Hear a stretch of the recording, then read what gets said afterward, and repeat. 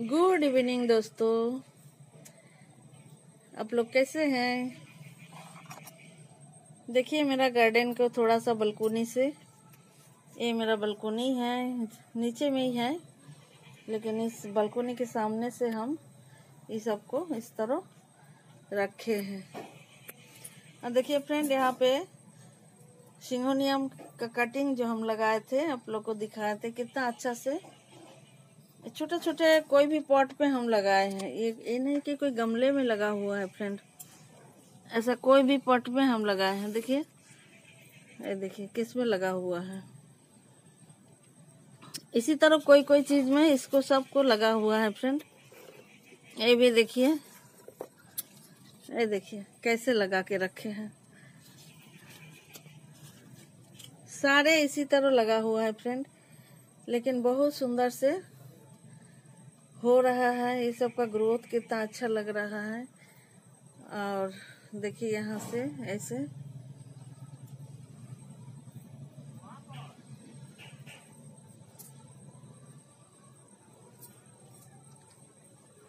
वो दूर में जो मयूरपंखी का प्लांट दिख रहा ना फ्रेंड उसी के बगल में वाइट वाइट गुलाब खिला हुआ है वहाँ साइड में।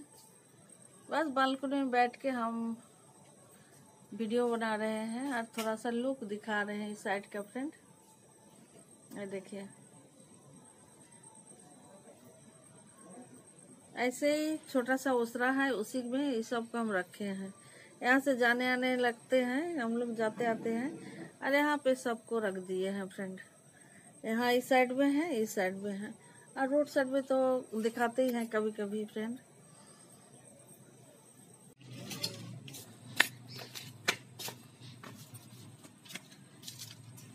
देखिए दोस्तों, ये फूल कितना दिन से खिल रहा है, पर हम इसका वीडियो ले ही नहीं पाते हैं।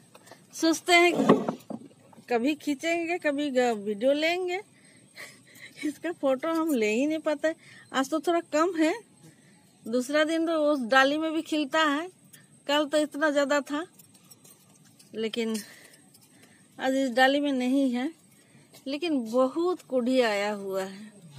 और बहुत दिन से खिल रहा फ्रेंड। कभी बारिश होता है, शाम को हम बाहर नहीं निकालते हैं। और इसमें फूल इतना होता है, हम देख ही दिखा ही नहीं पाते हैं। कितना अच्छा कलर है फ्रेंड। और बड़ा बड़ा भी है, देखिए। इसको हम लोग संध्या फूल बोलते हैं फ्रेंड। इसको आप लोग क्या बोलते हैं बताएँगे? इस शाम के समय होता है ना? इसीलिए इसका नाम है संध्या फूल।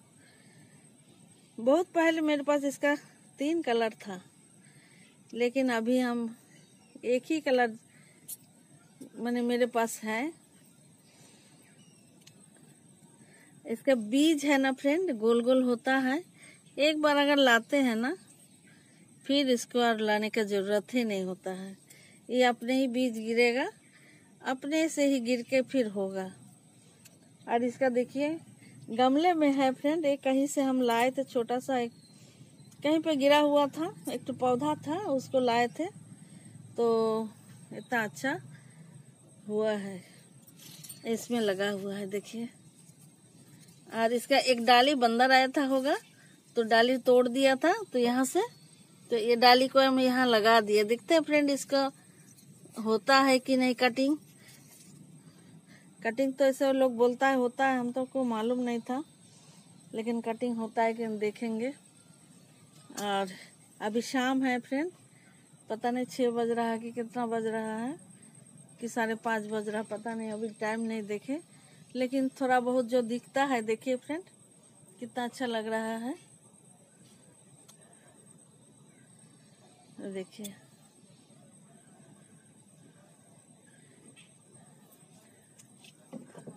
छोटा सा और यहाँ देखिए फ्रेंड मेरा मंडा बिला ये देखिए पौधा व्हाइट रंग का फूल। यहाँ ज़मीन ज़मीन नहीं नीचे में है वो गमला में हम कटिंग कैसे तैयार किए थे, वो हम लोग, हम बताए थे आप लोग को। वो गमले में हम लगाए हैं, एक ज़मीन में लगाए हैं। पौधा तो बहुत सुंदर बेल निकल गया। ये फूल मेरा आज पहले बार हम वीडियो किए, नहीं तो इसका फूल ही नहीं पकड़ाता है। ये देखिए फ्रेंड इसको इंशुलेंस प्लांट बोलते हैं, इसका फूल इस तरह खिलता है। बहुत सुंदर इसके पत्ते भी लगता है फ्रेंड एकदम घुमा घुमा के इसका पत्ते होता है। और ये देखिए फ्रेंड ये मेरा कितना अच्छा प्लांट है, लाल घड़ी। और दिखाते हैं फ्रेंड देखिए फ्रेंड यहाँ ये सब सुबह में खिलाता है डबल डबल करके। ये देखिए, सब मुरझाने लगा। कल फिर खिलेगा लाल रंग का वहाँ, लाल वाला है। और यहाँ येलो कलर का है। यहाँ देखिए फ्रेंड ये जो इंसुलेंस प्लांट इसका पत्ते को ना शुगर के पेशेंट खाते हैं पीस करके खाते हैं कि कैसे खाते हैं, लेकिन बड़ा सुंदर लगता है। देखिए फ्रेंड कितना अच्छा लगता है प्लांट देखिए। और इसका फूल इस तरह खिलता है।